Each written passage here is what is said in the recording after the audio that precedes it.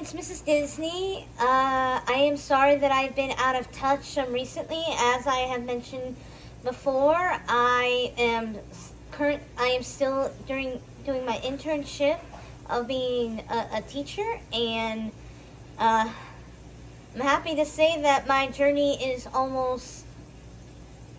I would say my journey is becoming, is starting all over again, but because I can't say the end because I know that as a teacher, there's a lot to learn, and I'm looking forward to it. And as you know, I I am expecting my first son.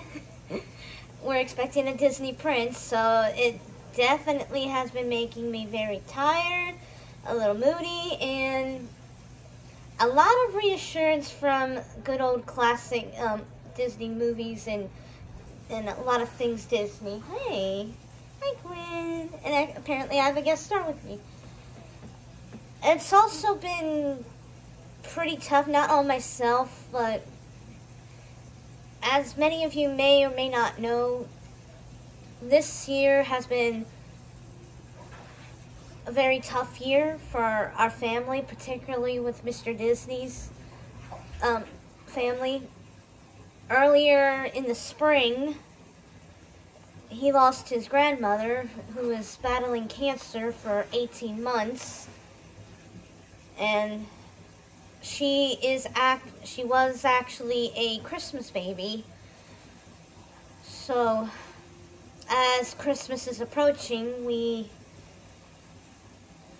we're, we're about ready to be hit hard about how much we miss her. We already miss visiting her at her home, swimming in her pool, checking up on her. She's been one of Mr. Disney's um, few grandparents left, and now all that's left is one, so it's been taking a toll. And I won't go into too much details, but a very close friend of ours um, lost their one-year-old child from an accident.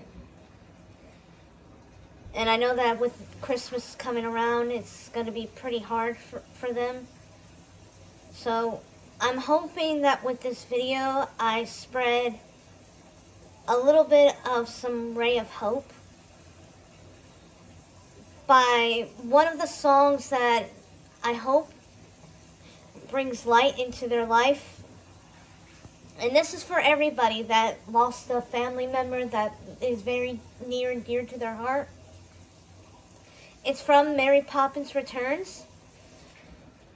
I'm pretty sure you know it. If you don't, I would check it out because I think this really does give a new perspective of when you're losing someone, they're not really gone. They're just out of place.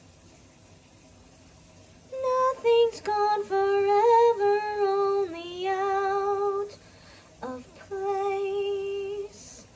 So when you need her touch and loving gaze, gone but not forgotten is the perfect phrase.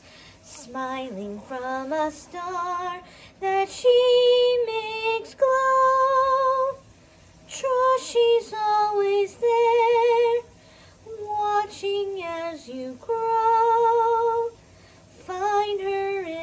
place where the lost things go.